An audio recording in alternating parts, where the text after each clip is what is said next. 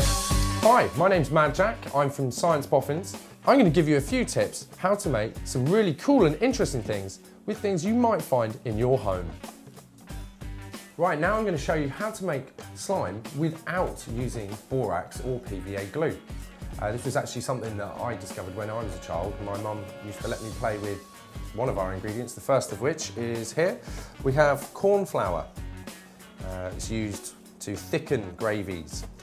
Um, now we're going to make a bit of blue corn flour slime today. So I've got just standard food colouring, blue food colouring, and we're going to need some water to mix with the corn flour, something to mix it with, in this case a lolly stick, but anything will do.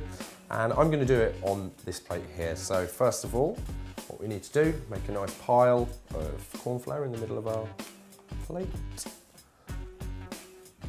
Lovely. Okay, I'll just break up some of the larger lumps. Right.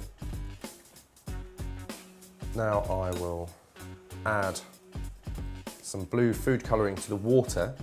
Much easier to do that. It will mean that you get a more balanced colour throughout your slime. As you can see, it's made a beautiful pattern. Just mix that up.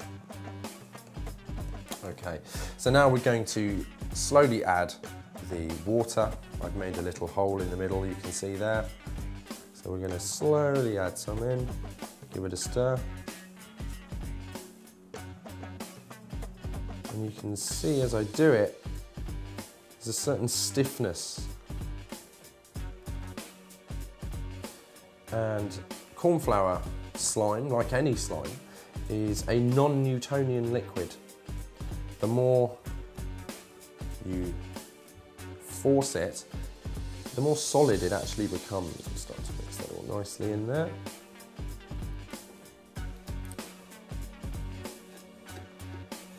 Now, this is definitely something you can try with your kids. It's quite difficult, you have to be actually very, very gentle. You can see in some ways it's solid, but then when I stop moving it, it returns to a liquid state. This is, as I say, what is in common with all non-Newtonian liquids, slime, putty, custard. Now, it might actually be easier for me to get my fingers in, nothing wrong with that. Now, as you can see, if I push it together, it's solid, but as I relax it,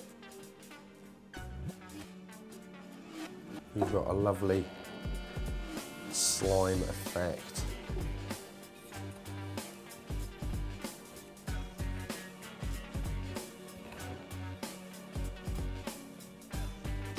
Now this means that I can actually keep it in a ball. If I want to roll it in a ball, you can see here, it will nicely shape itself as long as you keep moving it. As soon as I stop moving it, it returns to liquid. I'll show you again. Gently press it together, get that rolling again. Now if you want to make it slightly thinner, of course you add more water. If you want to make it more solid, yeah, then you can just add slightly less. And while I keep pushing it, push, push, push, you can see solid and then back to a horrible liquid. And there we are. That's how to make slime without borax or PVA glue.